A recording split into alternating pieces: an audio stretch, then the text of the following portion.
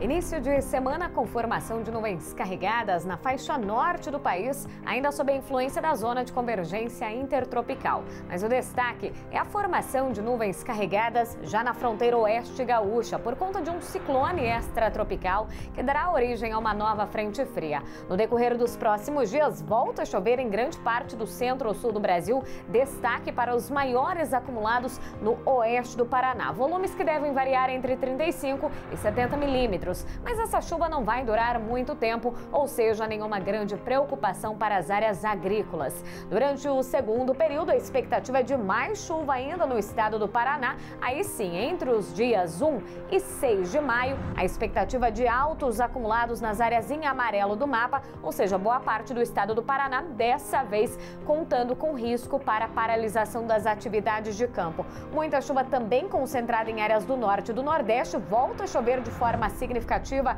em áreas nordestinas, mas uma chuva ainda mal distribuída. Para o terceiro período, a chuva não vai durar, principalmente entre o Piauí e a Bahia. Entre os dias 7 e 12 de maio, volta o tempo seco não só em boa parte do Nordeste, como também em grande parte do centro-oeste do Brasil.